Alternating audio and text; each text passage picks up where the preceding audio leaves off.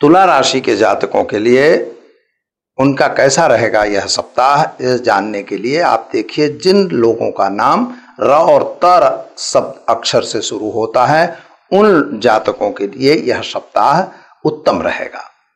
गुरु महाराज आपके लग्न ऊपर बैठे हुए हैं, यानी आपकी राशि पर ही विराजमान हैं और आपके संतान को भी देख रहे हैं, साथ में कर्म को भी देख रहे हैं, भाग्य को भी देख रहे हैं।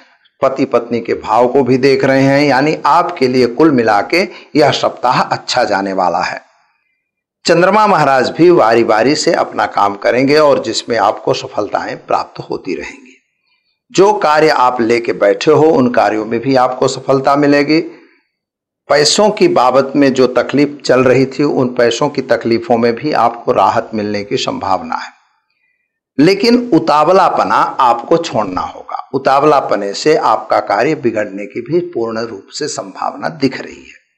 एक बात आप ध्यान अवश्य रखिएगा कि जो कोई व्यक्ति आपको कोई मतलब गलत चीज़ दिखा रहा है तो गलत कार्यों से आपको दूर रहने की भी परम ज़रूरत है। संतान संबंधी जो चिंताएँ थी, उनमें चिंताएँ दूर होंगी। जिनको संतान नहीं प्राप्त थी, उनको भी मिलने की संभावना है। हो सकता है कि आपको कोई ऐसी स्थिति मिले और ऐसा कोई व्यक्ति मिल जाए कि जिसके द्वारा आपका विकास हो सकता है। जो मकान, ज़मीन के संबंधी कुछ प्रश्न आपके पड़े हुए थे, उनका भी सॉल्यूशन आने की संभावना है। पति पत्नी के बीच में अगर कोई कोर्ट मैटर वगैरह बन रही है, वहाँ समझौता होगा। समझौता आपको मानना चाहिए और समझौता करने में भी आपकी सफलता है। अष्टम भाव की स्थिति जो बता रही है, यानी प्राप्ति की स्थिति बता रही है कि आपको कहीं ना कहीं से कुछ न कुछ प्राप्त होगा। कहीं से भी आपको वारस के रूप में भी पैसे अथवा तो मिलकत मिलने की भी संपूर्ण संभावना दिख रही है।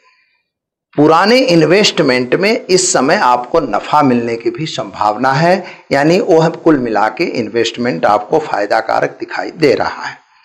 पारिवारिक जो क्लेश चल रहा था, वह क्लेश यथावत रहे ऐसा दिख रहा है, यानी परिवार में थोड़ा मत मतांतर रहने की पूर्ण रूप से संभावना है।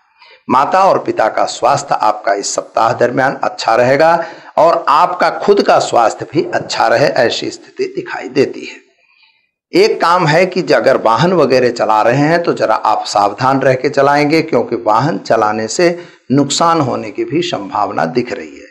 कोई नया व्हीकल खरीदने के भी योग इस समय बन रहे हैं। इस सप्ताह में आप ऐसा भी काम कर सकते हैं, जिससे आपको आगे नया व्हीकल वगैरह खरीद सकते हैं। लेकिन लोन यानी उधार, कर्जा काढ़ने की ज़रूरत नहीं दिख रही है, क्योंकि इस समय, इस सप्ताह में जो आप कर्ज काढ़ेंगे, वह कर्ज भरने में आपको थोड़ी मुसीबत का सामना करना पड़ सकता है। यानी थोड़े समय में वह कर्ज भर नहीं सकोगे, अतः उससे आपको दूर रहने की भी ज़रूरत है। एक काम और है कि आपके घर में अथवा आपके परिवार में किसी व्यक्ति के लिए दुखद समाचार भी आपको मिल सकता है। यानी, कोई व्यक्ति का कुछ भी मतलब दुखद समाचार, चाहे एक्सीडेंटल वगैरह का समाचार आपको प्राप्त हो सकता है। यह समय थोड़ा सा खराब भी बताया जा सकता है। यह सप्ताह के दरमियान आपको विदेश यात्रा वगैरह संबंधी जो कार्य थे, उन कार्यों में आपको सफलता मिलेगी और आप अवश्य जा सको, ऐसी स्थिति का निर्माण होता हुआ दिखाई दे रहा है।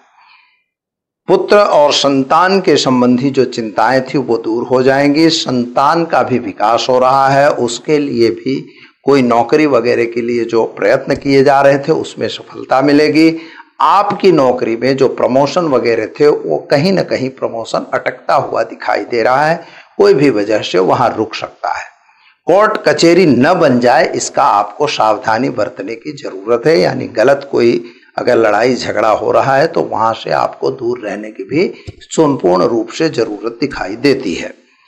आपके अपने लोग आपको नुकसान करने की कोशिश अवश्य करेंगे, लेकिन आपको उनसे सावधान रहने की भी ज़रूरत दिखाई देती है। आप अपने ही काम में लगे रहिए, दूसरे के कामों में दखल अंदाजी मत करिए, यह ज़रूरी है। क्या करेंगे आप? तो आप ओम नमो न ओम नमो भगवते वासुदेवाय, इस मंत्र का प्रयोग करेंगे और तुलसी दल भगवान विष्णु को चढ़ाकर और यह सप्ताह दरमियान मतलब हर रोज तुलसी दल वगैरह अर्पित करके और भगवान की प्रार्थना करेंगे और घर में एक दीपक जलाएँगे, जिससे आपके घर की नेगेटिव ऊर्जा दूर होगी और साथ ही में आपके कार्यों में जो अटक आ रही है, जो रुकावट आ रही है, वो रुकावट भी दूर होगी। इस तरह से यह सप्ताह आपका सामान्य रहेगा और यह सप्ताह आपका शुभ जाए। यही हमारी प्रार्थना है।